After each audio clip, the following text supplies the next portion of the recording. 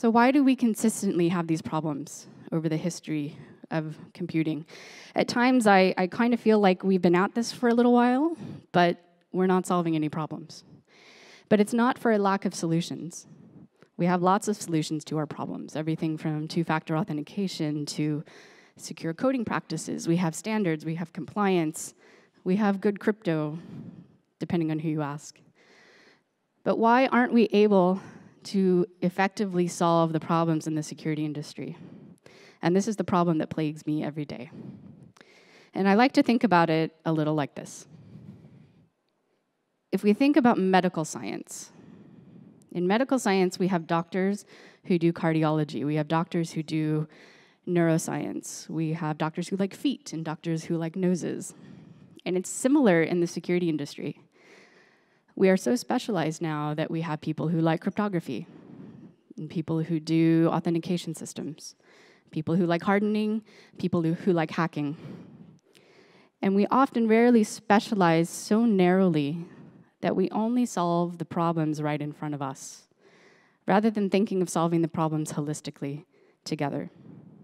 It would be sort of like designing a fish and never studying what its predator is.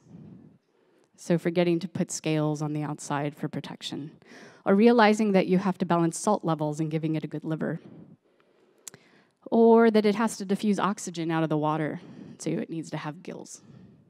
We have essentially built a fish that doesn't know how to swim and can't survive in the ocean. And I feel like that's what our computing systems are like.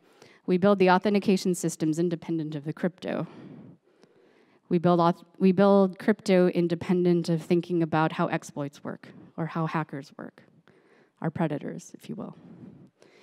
And for this reason, I think we need to rethink the way we do security. We need to think about building security as a platform rather than as siloed solutions that exist independent of one another.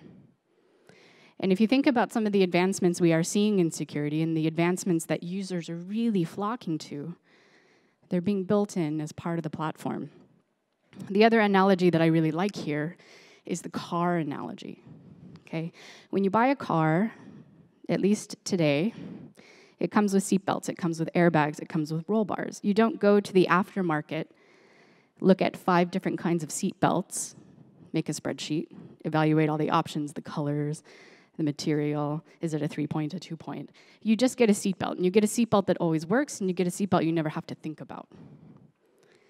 And I think that that is the idea. The car here is the platform, and all of the security that you need for the car is built into the platform. The other reason I think that we have not been able to successfully fix security is that we are not studying our past enough. And I was really surprised to find that there are more people here who have been in the security for a long time, uh, in the security field for a long time, rather than people who are new. But what I find, at least, is true with the engineering teams I work on, is that often they have not looked backwards enough to realize that the problems they're solving have already been solved. And in some ways, they should heed the lessons of the past.